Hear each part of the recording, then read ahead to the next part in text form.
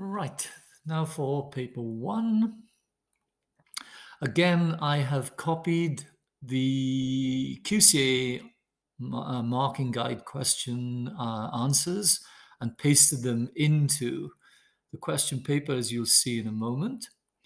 And you can obviously get these for yourself from the website, but what it what they give you the answers, but sometimes that's not enough. I'm going to try and explain the answers if they need explaining. If they're simple, like this first one, for example, then clearly it's just content knowledge.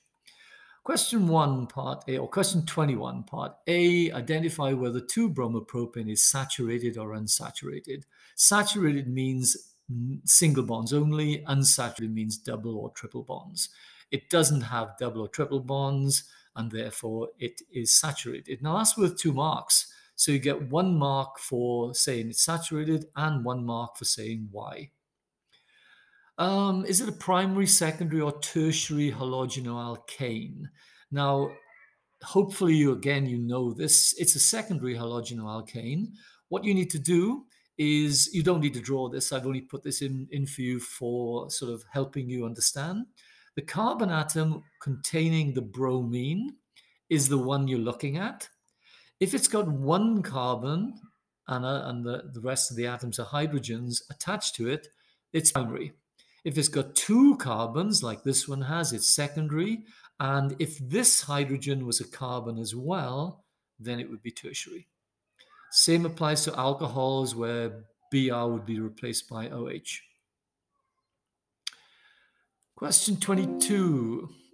Calculate the concentration of HF in an aqueous solution with a pH of 4. Ka is given to you. Show your working. Okay, so effectively, uh, the concentration of HF is what we're trying to find. Now, uh, so there's QCAA's answer effectively, but at the bottom line is you are changing HF into H plus and F minus. If the pH is 4, then H plus must be 10 to the minus 4, and so is F minus, because they will form 1 to 1 from HF. So effectively, if they give you the Ka, now normally we see Ka on the left and HF on the bottom, but hopefully you can see all they've done is simply rearrange it and got the answer.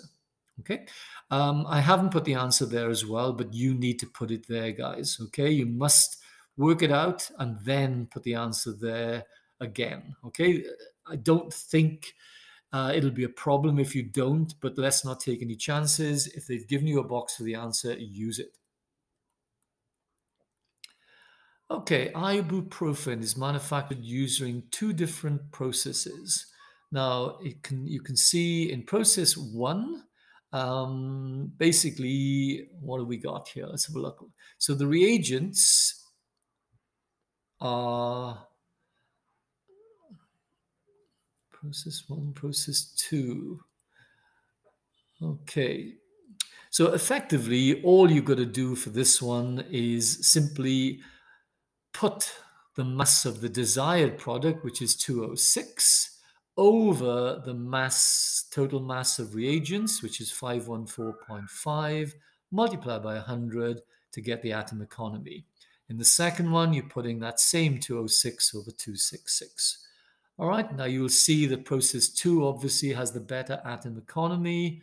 And what does it say? Um, the environmental impact of each process. Well, clearly, the one with the better atom economy will be the more environmentally friendly, because at the end of the day, uh, or economic as well, I beg your pardon. So, economic and environmental, process two is better because it makes more of it. So, from the economic point of view, you're getting better outcome, better yield, and therefore more profit. And also, if it's not producing too many waste products, it's better than obviously from an environmental point of view. Uh, electrochemical cells constructed using uh, copper and platinum electrodes. So we've got the copper half cell and we've got the Fe3, Fe2 half cell.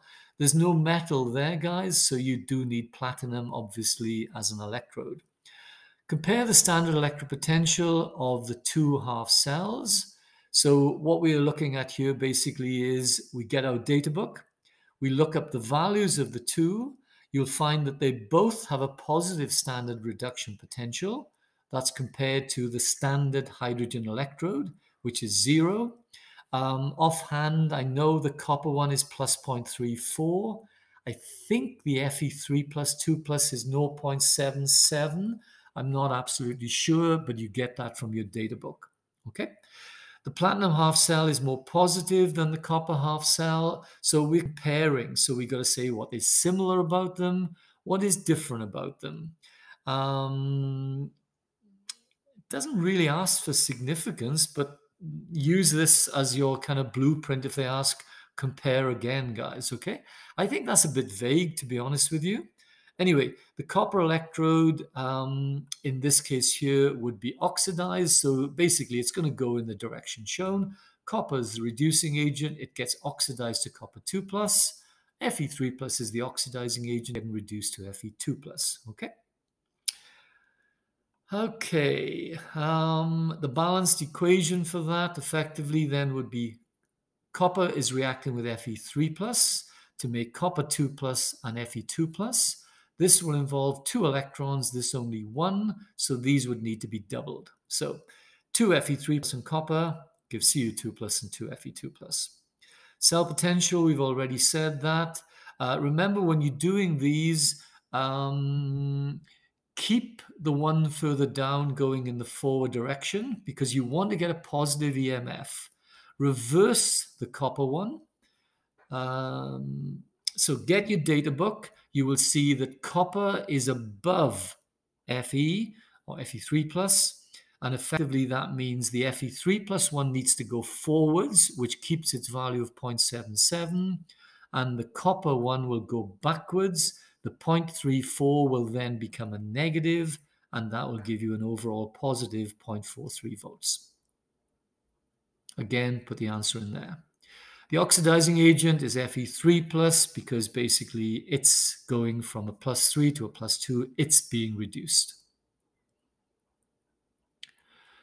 Okay, uh, three unknown gases are combined in a sealed flask and allowed to reach equilibrium as shown by the equation. Will it reach a dynamic equilibrium? Let's have a look. They combine in a sealed flask. That means it's a closed system. Since it's closed, it will reach equilibrium. Okay matter is not exchanged with the surroundings. Energy can be, but matter can't be. Okay, um, eventually, of course, the rate of the forward reaction will equal the rate of the reverse reaction, and that is when equilibrium is reached. Uh, if you want to see how the marks are allocated, it's pretty obvious, I think, obviously, you know, where the three marks are. But if you're not sure, go and look at the QCAA mark guide, which you will get on the website, and it'll say the actual sort of mark allocation. Okay, determine if the relative positions of equilibrium lies towards the products or reactants if the molar concentrations are 3.4, 1.8, and 4.2. So effectively, we work out Kc using those values, remembering, of course, you know, to square this one, to cube that one, remembering this. When you do that, the Kc works out to be 0.25. Since it's less than 1, we can deduce the equilibrium is on the left. Uh, three unknown solutions, A, B, C, have the following properties. Determine the pH of solution A. Take the negative log of that, and you'll get a value of 4. Again, put the answer in the box, please. Determine the concentration of hydrogen ions in B. This time you would do 10 to the minus pH, 10 to the minus 2, which is 0.01. Again, put the answer in the box. And the pH of C, well, if the H plus is 0.063, we need to do a little bit of calculation. First of all, work out the pH by taking the negative log of that, and then obviously subtract that from 14 to get the pOH. Uh, they give you things to help you with these in the data book right at the very start. They tell you that I think H plus times OH minus is 10 to the minus 14. That, of course, is the um, KW. But at the same time, pH and POH add to make 14. Again, put the answer in the box, please. Five color solutions, ammonia, HCl, KOH, sulfuric acid, and propanoic acid have lost their labels and they are labeled with A, B, C, D, and E. Conductivity and the color of each solution when phenol red is added, uh, phenol red is added is shown. Okay, now then bottom line basically is conductivity is a guide of how much dissociates. If it dissociates completely, you're going to get a good conductivity. So in other words, A, D, and E are going to be pretty highly dissociated. Um, that would mean that they would be HCl, KOH, and H2SO4. H2SO4, because of the two H pluses, will obviously have an even better conductivity. So D would be sulfuric acid. Now A is 4.1 and E is 4.9. So it's not easy to tell which is HCl and KOH from that, but the color of the indicator is obviously a giveaway. So the yellow means that A is hydrochloric acid, and the red means that E is KOH. Now, the other two obviously are weak. That's a weak base, that's a weak acid. They won't dissociate fully. They will both have low conductivities. The red obviously would be the base, which is ammonia, and the yellow would be the propanoic acid. Okay, so hopefully that's all simple and answered. Um, oh, and that's the end of the paper. Oh, well, that was good. Okay, so um, hopefully that last one is okay. Remember, you will need to use the data book to look up phenol red, and clearly you will see the data it'll give you there is it's yellow when the pH is below 6.8 and red when it's above 8.4. So these will be the acids, these will be the bases. All right, and the conductivity is telling you how strong or weak the acid or the base is um, by its conductivity. Okay, that's that.